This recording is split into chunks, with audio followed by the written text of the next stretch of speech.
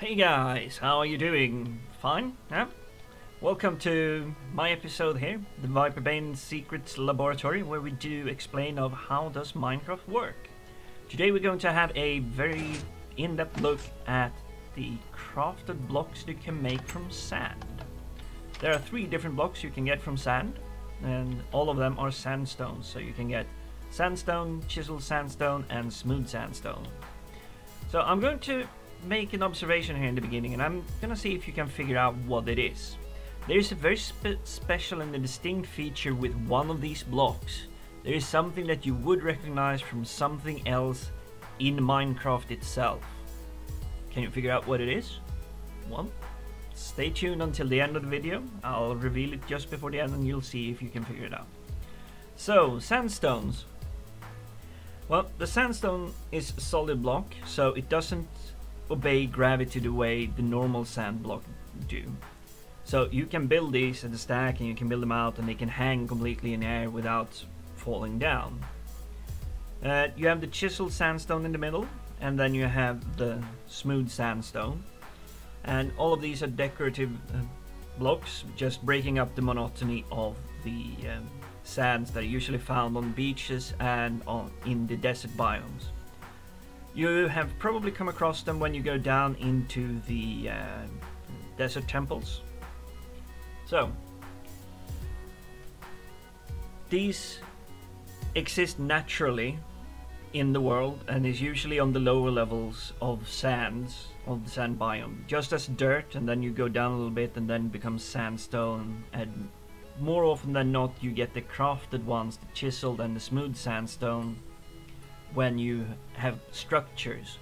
This is more commonly found when it's just normal sand and you've seen the sand mountains in the desert biomes. You need a pickaxe to pick up any of these and if you try to break them with your hand you will not have that much of luck.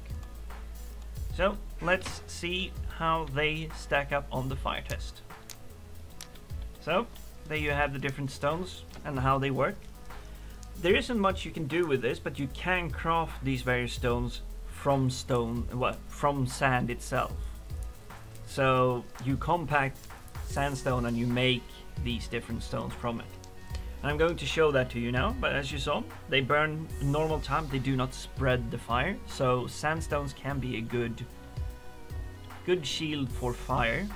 And unfortunately I think the combination, well, I would say fortunately because sand doesn't let fire spread that far and sand and the lighter wood gives good texture when you build really big buildings.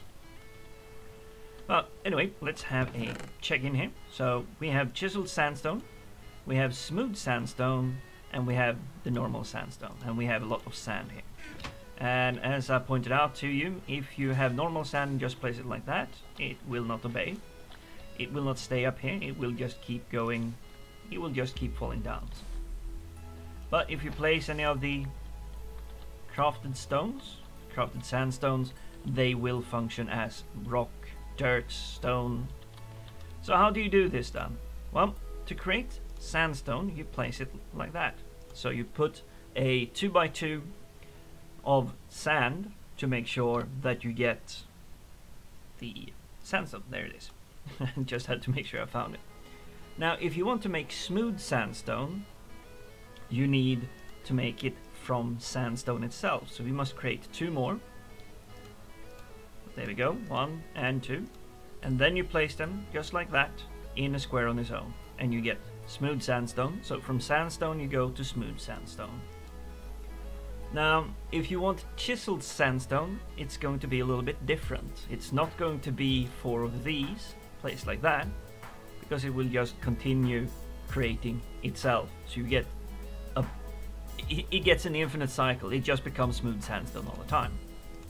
So what you do is you place sandstone like that, so you create stone slabs.